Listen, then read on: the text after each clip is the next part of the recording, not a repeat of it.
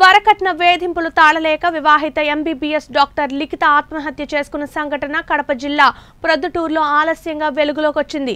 లిఖిత ఆత్మహత్యకు పాల్పడగా లిఖిత తండ్రి గంగాధర్ నాయక్ ఈ విషయాన్ని విలేకరులకు వెల్లడించారు.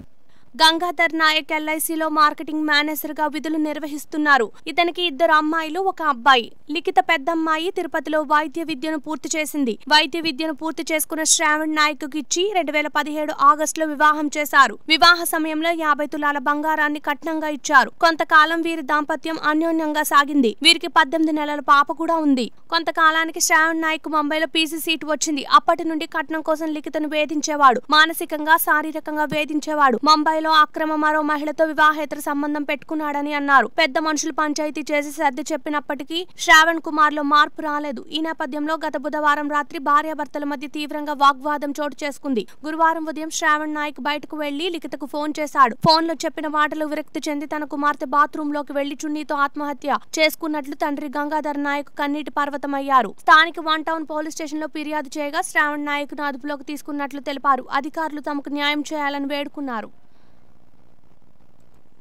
గంగాధర్ నాయక్ ఎల్ఐసిలో మార్కెటింగ్ మేనేజర్.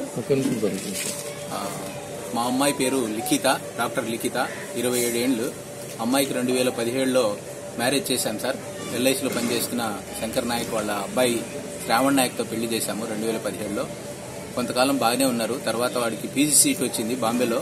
పీజీ సీట్ వచ్చిన తర్వాత అక్కడ ఇల్లీగల్ కాంటాక్ట్ పెట్టుకుని డౌరీ కోసం హరాస్ చేస్తూ పాపను కొట్టి మానసికంగా శారీరకంగా హింసించి ఆ పాపను ఆత్మహత్య చేసుకునేటట్టుగా ప్రేరేపించారు. తర్వాత బాంబేలో ఉన్నప్పుడే సూసైడ్ చేసి అటెంప్ట్ చేసుకోవడానికి ప్రయత్నం చేస్తే మేము పిలుచుకొచ్చాము.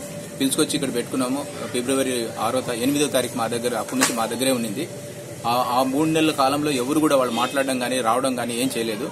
బట్ సడన్గా మొన్న రెండో ఒకటో తారీఖు అబ్బాయి వచ్చి ఆ రోజు నుంచి మూడో తారీఖు వరకు అమ్మాయిని మానసికంగా కొట్టడము తర్వాత డౌరీ కోసం హింసించడము నువ్వు డౌరీ తీసుకుంటే రా లేదంటే ఇక్కడే నీ చావు నీ చావు అని చెప్పడము. ఆ అమ్మాయిని మానసికంగా కొట్టి ఆత్మహత్యకు ప్రేరేపించారు. ఆ అమ్మాయి వాడు చెప్పిన మాటలకు ఏం జరిగిందో తెలియదు ఆ చెప్పిన మాటలకు లోపల బాత్రూంలో వెళ్ళి సూసైడ్ చేసుకోవడం జరిగింది. కూడా ఇచ్చాం సార్. ఇది జరిగింది. మాకు న్యాయం చేయాలి ఈ విషయంలో.